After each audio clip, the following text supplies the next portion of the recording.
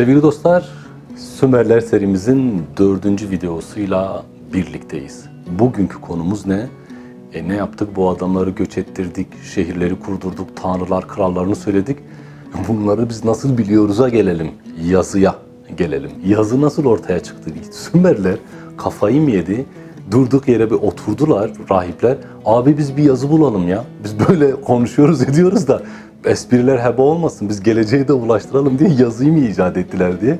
Gelin bakalım niye yazıyı icat ettiler. Hatırlarsanız e, sulama kanallarıyla beraber kentlerin ortaya çıkışını konuştuğumuzda bunların belli bir düzen içerisinde e, tedarik zincirinin kırılmaması, her şeyin yerli yerinde oturmasını sağlayacak hesaplamalar gerektirdiğini söyledik.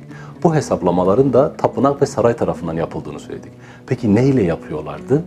Yani adam yemek yemesi lazım ve e, ona bir ödemenin yapılması lazım. Adamın kafasını çizmeniz, yanına bir devrik ağzı kase çizmeniz, iki tane arpa başağı çizmeniz. Arpa daha önemli buğdaydan bu arada çünkü buğday gibi nazik bir bitki değil, biraz daha arsız.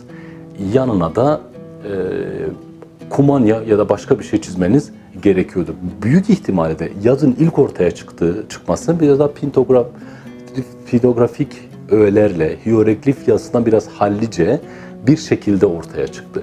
Ve zaman içerisinde yetmemeye başladı sevgili dostlarım. Yani kafa çizmeniz, başak çizmeniz ve oraya bir çanak çömlek çizmeniz anlatmak istedik, istediğiniz her şeye karşılık gelmiyordu. Nasıl mı?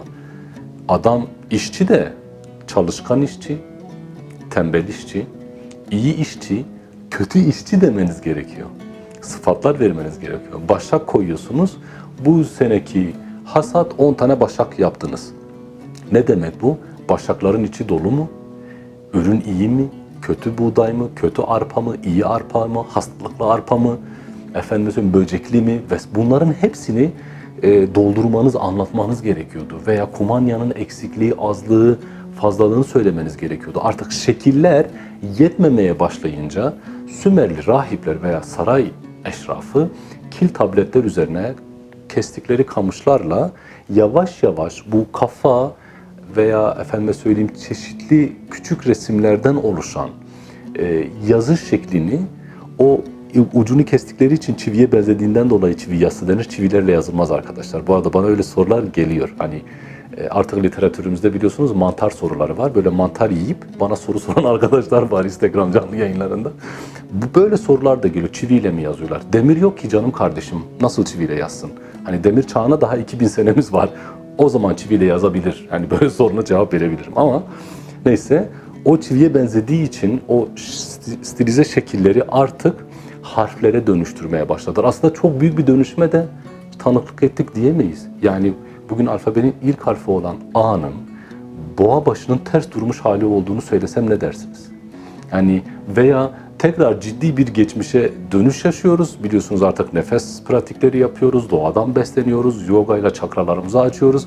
Kopmuş, uzaklaştığımız doğaya geri, geri dönmeye çalışıyoruz. E, bunu tabii ki teknolojide de beraber yaz, yaşamaya başladık. Mesela yazışmalarımızın çoğunda kelime kullanmak yerine Hazreti emojilerimize başvuruyoruz. Emojiler bizim imdadımıza yetişiyor ve gereken her türlü şeyi onlarla anlatabiliyoruz. Hatta yetmiyor, kendi emojilerimizi yaratabiliyoruz değil mi? Kendimize benzeyen. Efendime söyleyeyim renklendirebiliyoruz. Bıyıklı, sakallı, saçlı vesaire hepsini kendimize benzetip kendimiz konuşmadan emojinin, anla, emojinin anlatacağı şeyler veriyoruz. Hatta sizi sevindirecek başka bir şey daha söyleyeyim. Hepinizin okuduğu alfabe var yani.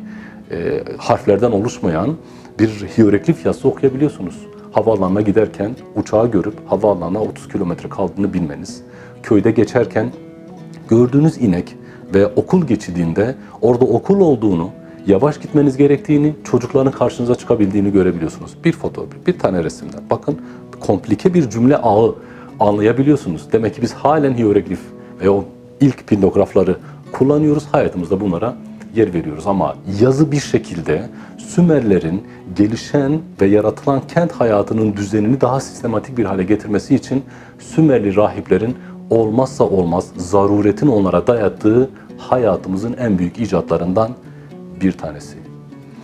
İnsan övün, çalış, güven. Bol bol okuyun, bol bol yazın sevgili dostlarım. Hani görüşürüz.